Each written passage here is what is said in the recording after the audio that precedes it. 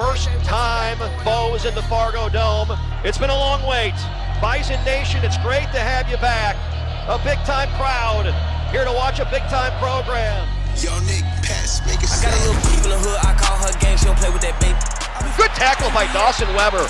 Pocket collapses, fires over the middle, picked off by Weber at the 30. Fires into the end zone. Oh, what a catch! Owen Reed give Gonnella. Shot in the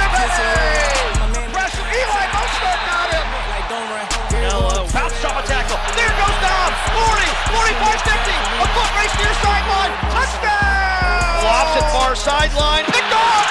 It's intercepted. Here's a handoff to Luepke, sweeping right to left. Trot in there, baby. Dakota State 28.